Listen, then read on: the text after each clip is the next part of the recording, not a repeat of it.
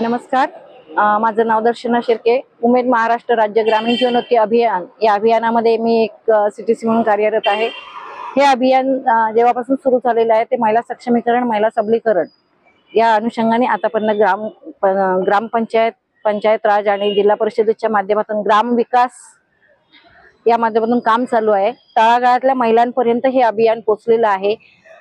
पाहिजे तसं पोचलेलं नाही आणि ते पोचण्यासाठी आमची मागणी आहे की हे अभियान जे आहे हे कायमस्वरूपी व्हायला पाहिजे जेणेकरून जे महिलांचे गावाचे विकास अर्धवट राहिलेले आहेत ते अर्धवट न राहता कायमस्वरूपी हे अभियान चालू राहिलं. आमच्या कर्मचारी आमचे जे आहेत ते आम्हाला कायमस्वरूपी मिळाले. तरच आमचं हे अभियान सक्सेस होईल. आणि म्हणून आम्ही आमची ही मागणी आहे की आम्ही जे आज उपोषण केलेलं आहे ते कायमस्वरूपी आमचं हे अभियान असावं राहिलं पाहिजे आणि व्हावं या उद्देशाने केलेलं आहे. धन्यवाद सर. नमस्कार. माझं नाव अमोल काटकर.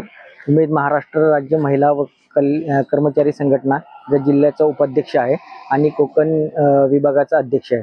आज दिनांक सत्तावीस नऊ दोन हजार चोवीस रोजी उमेद महाराष्ट्र राज्य कर्मचारी महिला संघटना यांच्यामार्फत एक दिवसीय लाक्षणिक उपोषण व रॅलीच्या माध्यमातून शासनाकडे आम्ही ज्या काही आमच्या मागण्या आहेत तर त्या मागण्या सादर केलेल्या आहेत.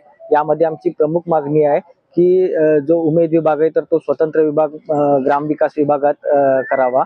आणि यातलं जे काही कर्मचारी आहेत आणि केडर आहेत तर त्यांना शासनाच्या समकक्ष पदावर कायमस्वरूपी नेमणूक देण्यात यावी. कारण संपूर्ण महाराष्ट्रात जवळपास चौऱ्याऐंशी लक्ष महिला उमेद अभियानात कार्यरत आहेत.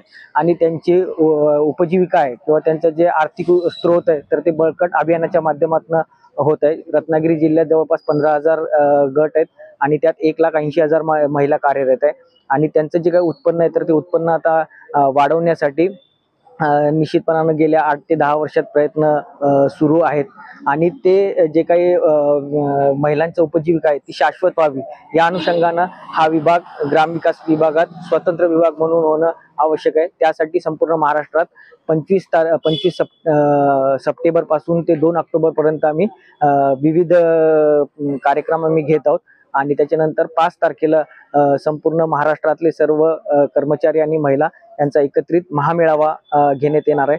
तत्पूर्वी दोन ऑक्टोबर रोजी संपूर्ण तालुका तालुक्यांमध्ये जे काही संघटनेचे सर्व सदा सभासद आहेत तर त्यांचा एक तालुकास्तरीय मेळावा आम्ही घेऊन त्यामध्ये पुढची दिशा ठरवणार आहेत. शासनाला आम्ही जे काही निवेदन दिले तर ते शासनाने मान्य करावे एवढीच विनंती करतो. धन्यवाद.